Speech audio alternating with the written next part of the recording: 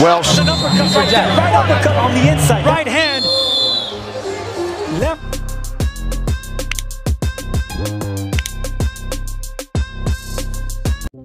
Vergil Ortiz Jr. kembali bertinju di atas ring setelah 17 bulan absen untuk hadapi petarung asal Ghana yaitu Frederick Lawson.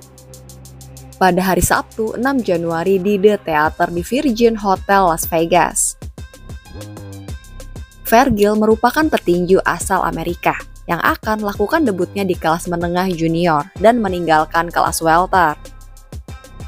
Dia hingga saat ini memiliki rekor tak terkalahkan. Dengan 19 kemenangan, semuanya datang dengan KO, yang menjadikannya salah satu yang terbaik dalam olahraga tinju. Here earlier against Frederick Lawson. Beautiful. And showing power here. Landed Ortiz Jr., who digs to the Golovkin, who was trained by Abel Sanchez, and uh, also Seperti yang kita ketahui, pertarungan terakhir Ortiz Junior terjadi pada Agustus 2022. Ketika dia mengalahkan Michael McKinson. in plant and shoot punches, not wait for BZA to get inside.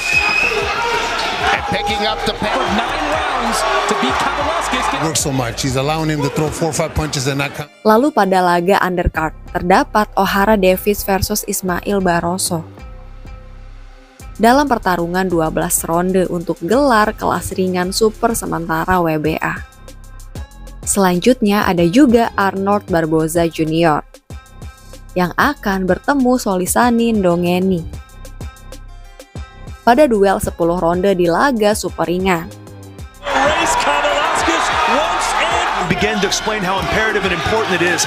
Hooker did when he faced Jose Ramirez. They're never the Dan jika Ortiz mengalahkan Frederick Lawson, Vergil Ortiz akan mengincar mantan juara 154 pound, Jermel Carlo dan juara kelas menengah junior WBO Tim Ziu untuk jadi lawan berikutnya. Well, Bizier going back, he was a seven-time national champion. Rangy, lanky right hand. If he catches Final seconds. Fans tinju bagaimana tanggapan kalian terhadap duel ini?